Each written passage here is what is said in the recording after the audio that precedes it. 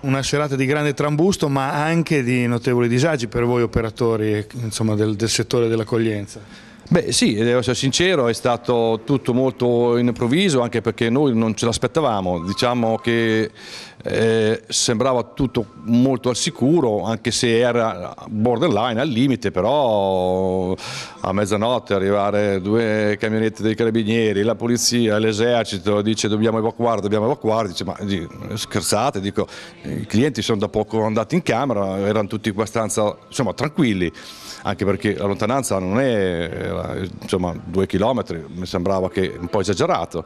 Ah, dico se non li chiamo, dice no, se lei non li chiama andiamo porta per porta e dobbiamo evacuare. E...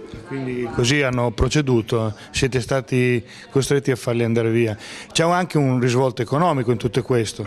Certo, prima di tutto il disagio, perché comunque dopo magari qualcuno si altera pure, cioè maggior parte no, ma c'era qualche signore, insomma cominciava a avere un po' di tensione e poi dove andiamo, cosa facciamo? Ah, ma dice dobbiamo pagare la, la Camera, ma noi eh, siamo stati soltanto due ore, abbiamo solo appoggiato la schiena, dice come è possibile, poi devo andare dall'altra parte, l'azienda non mi esercisce, eh, tutta una serie di disagi che comunque, eh, vabbè, va bene prima di tutto la sicurezza ed è giusto che ci sia, però insomma anche perché sulla via, la via dove siamo noi, sia Viale Puccini, che, cioè Viale Cairoli Giacomo Puccini, non ho visto una persona uscire dalle case, hanno fatto elogiare soltanto i due alberghi, boh, per carità, per quanto sia tutto giusto, però eh, qui ci sono delle conseguenze, ci sono delle spese, dipendenti che lavorano, clienti arrabbiati, poi anche chi è che aveva prenotato per più giorni, preso, è scappato, quindi non è che l'hai perso, è perso, non è che ritorna, anche se alcuni sono clienti fissi, insomma eh, mi sembrava, ma io dico, se questa cosa si sapeva già nel pomeriggio, eh, cioè mi sono informato, potevano darci anche un colpo di telefono, guardate, cioè non, non prendete gente, oppure perlomeno state attenti perché comunque è una zona a rischio,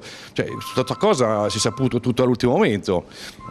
Di quante persone parliamo? Perché due alberghi, due hotel sono... Eh, due alberghi, sono 45 persone che...